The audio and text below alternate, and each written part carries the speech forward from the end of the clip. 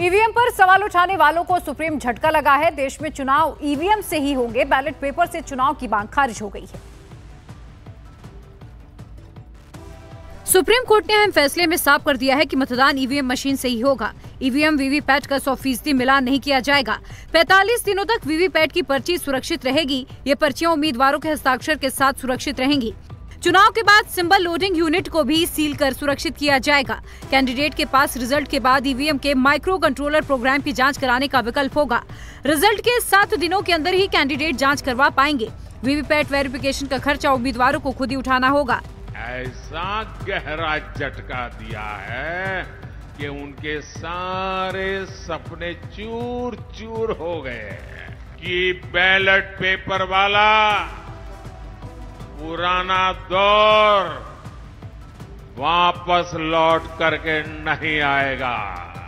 Court ने फैसले में कहा कि किसी सिस्टम पर आँख मूंद कर अविश्वास करने से संदेह पैदा होता है। लोकतंत्र का मतलब विश्वास और सौहार्द बनाए रखना है। अठासी सीटों पर वोटिंग के बीच पीएम मोदी ने बंगाल, बिहार, यूपी में तीसरे राउंड का माहौल तैयार किया। पब्लिक रैली में विरोधियों की तुष्टिकरण वाली फ़ाइल खोली।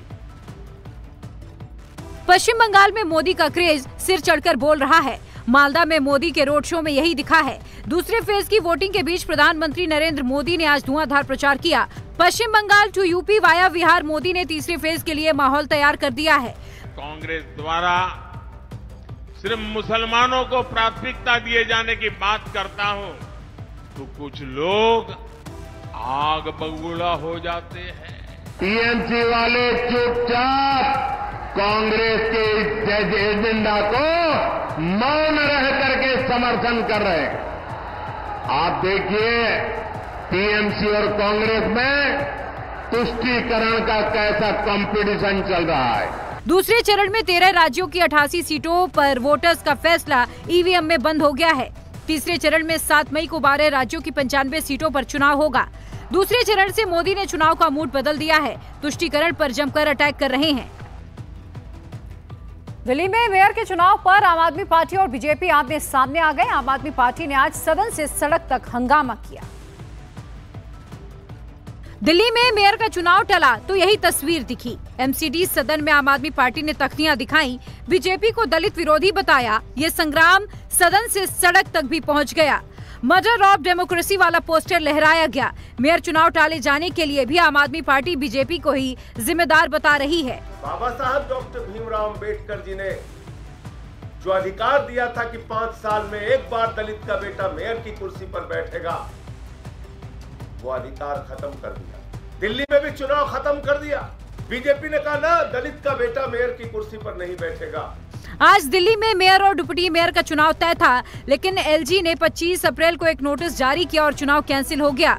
24 अप्रैल को चुनाव आयोग ने मेयर चुनाव की मंजूरी एमसीडी को दी थी, लेकिन पीठासीन अधिकारी पर पेच फंस गया। एलजी को पीठासीन अधिकारी की नियुक्ति का प्रस्ताव सीएम देते हैं, लेकिन केजरीवाल जेल में है। अरविंद केजरीवाल के जेल जाने का असर दिखाई पड़ने लगा है। मेयर और डिप्टी मेयर चुनाव टलना इसका एग्ज़ाम्पल है। तिहाड़ में केजरीवाल की हेल्थ को मेडिकल टीम मॉनिटर कर रही है। जेल से बाहर पार्टी के लिए केजरीवाल का काम उनकी पत्नी ने संभाल लिया। केजरीवाल की हेल्थ पर नज़र रखने के लिए गठित मेडिकल बोर्ड की टीम एक्टिव है। दिल्ली के सीएम अरविंद केजरीवाल को तिहाड़ में सुबह शाम इंसुलिन की डोज दी जा रही है। तिहाड़ प्रशासन और मेडिकल बोर्ड की टीम मिलकर केजरीवाल की सेहत पर नज़र रख रही है। उधर आम आदमी पार्टी ने इलेक्शन कैंपेन के लिए प्लान बी रेडी कर लिया है। केजरीवाल की गैर मौजूदगी में उनकी पत्नी सुनीता केजरीवाल ने कमान संभाली है। कल से सुनीता केजरीवाल राजनीति में फुल एक्टिव हो जाएँगी। आम आदमी पार्टी की इलेक्शन कैंपेन की बागडोर संभाल लेंगी। दिल्ली में कल सुनीता केजरीवाल का रोड शो होगा। सुनीता केजरीवाल दिल्ली, पंजाब, हरियाणा, गुजरात में प्रचार करेंगी। अरविंद केजरीवाल जी के लिए आशीर्वाद मांगने के लिए और आम आदमी पार्टी के प्रत्याशियों के लिए वोट मांगने के लिए अरविंद केजरीवाल जी की धर्मपत्नी सुनीता केजरीवाल जी खुद प्रचार में उतरेंगी। सुनीता केजरीवाल 2020 के दिल्ली चुनाव में भी एक्टिव नज़र आई थीं। तब उन्होंने केजरीवाल के समर्थन में पर्चे बांटे थे, लेकिन पति के जेल जाने के बाद पत्नी का रोल बदल गया है। महाराष्ट्र के मुस्लिम नेता कांग्रेस के खेल से परेशान है, पूछ रहे हैं कि दगा क्यों दिया? महाराष्ट्र में कांग्रेस के मुस्लिम नेताओं की नाराज़गी पार्टी से बढ़ती जा रही है। पाँच बार के मंत्री नसीम खान ने कांग्रेस पर मुसलमानों से बेवफाई का लेवल लगा दिया है। मध्य प्रदेश में एक भी अल्पसंख्यक को टिकट नहीं, राजस्थान में एक भी अल्पसंख्यक को टिकट नहीं, गुजरात में एक भी अल्पसंख्यक को टिकट नहीं, झारखंड जैसे राज्य में एक भी अल्पसंख्यक को टिकट नहीं, महाराष्ट्र जैसे प्रोग्रामी राज्य के अंदर 48 में से एक भी अल्पसंख्यक को टिकट नहीं। तो कहीं ना कहीं समाज में ये बेचैनी ज़रूर है। और इस बेचैनी को मैं आला कमान को ब्रीफ करूँ महाविकास अघाड़ी ने 48 सीटों में एक भी सीट पर मुस्लिम कैंडिडेट नहीं दिया है। 2019 में कांग्रेस ने सात मुस्लिम्स को टिकट दिया था, इस बार एक भी टिकट नहीं दिया गया है। नसीम खान के मुताबिक कांग्रेस अपने वादे से मुकर गई, उन्हें भी टिकट नहीं दिया गया। महाराष्ट्र में 12 फ़ीसदी मुस्लिम आबादी है 48 में चार सीटों पर 21 से 30 फ़ीसदी मुसलमान हैं। सात सीटों पर 15 से 20 फ़ीसदी मुसलमान हैं, तो 11 से 15 फ़ीसदी मुस्लिम मतदाता वाली 11 सीटें भी महाराष्ट्र में अहम हैं। कश्मीर में महबूबा मुफ्ती जिस सीट से मैदान में है वहाँ चुनाव की तारीख बदलने का संकट मंडरा रहा है। जम्मू कश्मीर में महबूबा मुफ्ती की टेंशन बढ़ गई है। अनंतनाग राजौरी सीट पर मतदान की तारीख बदल सकती है। पाँच राजनीतिक दलों और तीन निर्दलीय उम्मीदवारों ने चुनाव आयोग को खत लिखा है। खत में अनंतनाग राजौरी सीट पर चुनाव टालने की मांग की है। सूत्रों के मुताबिक चुनाव आयोग ने मुख्य सचिव से रिपोर्ट मांगी है।